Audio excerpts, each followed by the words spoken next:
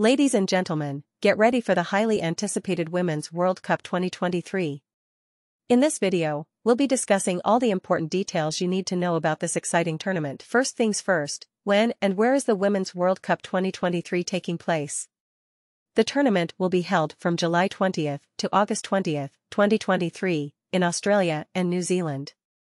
The host countries beat Colombia to win the bid, and the matches will be played in iconic venues such as Eden Park, Suncorp Stadium, and Stadium Australia. Now, let's talk about the teams that have qualified for the tournament. In Group A, we have New Zealand, Norway, Philippines, and Switzerland.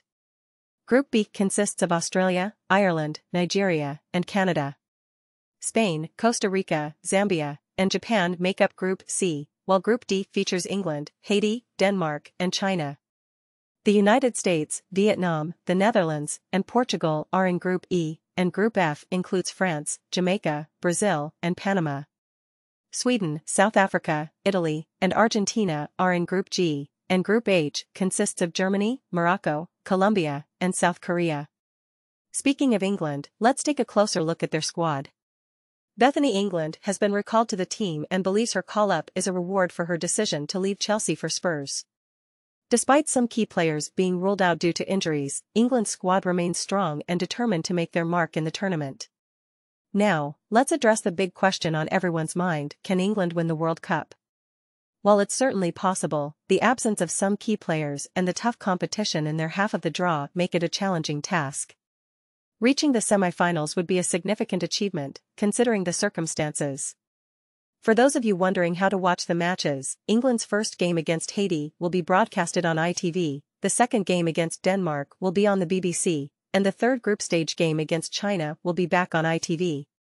The BBC and ITV have reached an agreement to show live coverage of every match, ensuring that fans don't miss a single moment of the action. Now, let's talk about the official ball for the tournament. Created by Adidas and named OCEAUNZ, this ball uses the same technology as the one used in the Men's World Cup in Qatar. It contains a motion sensor that provides real-time data to contribute to semi-automated offside decisions, making the game even more exciting and fair. And finally, for those of you interested in attending the matches, tickets are available for multi-match packages starting from just 0 Australian dollars per NZD for adults and 0 Australian dollars per NZD for children. So mark your calendars and get ready for an incredible month of women's football in 2023.